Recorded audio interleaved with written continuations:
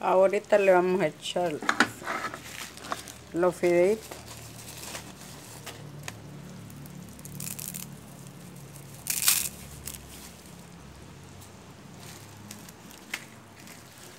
Esto es leche casi de último, si no se, se ablandan y se hacen masa. Una sopa de